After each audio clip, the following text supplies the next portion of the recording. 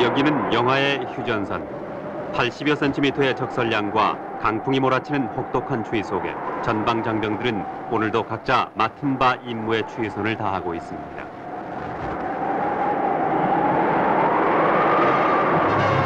이처럼 눈이 많이 내릴 때는 고립 상태에서 벗어나 작전을 구사하기 위해 육군 특전부대에서는 스키 훈련을 실시하고 있습니다. 알파인 스키 훈련으로 완전 군장한 상태에서 적설 지역 10km를 90분 이내에 이동할 수 있습니다. 혹한기 체력 단련 훈련도 펼침으로써 극한 상황을 극복하는 강인한 정신력과 체력 담력을 길러내고 있습니다. 장병들은 전술 스키 훈련도 거듭하고 있습니다.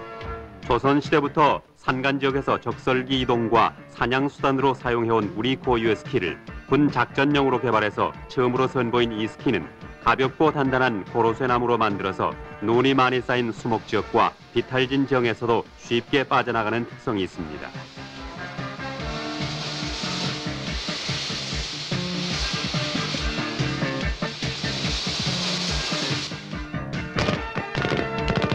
눈 위에서 사격 능력까지 발휘하는 특전부대 장병들. 스키 훈련을 통해서 지금 이 순간에도 조국을 지키고 있습니다.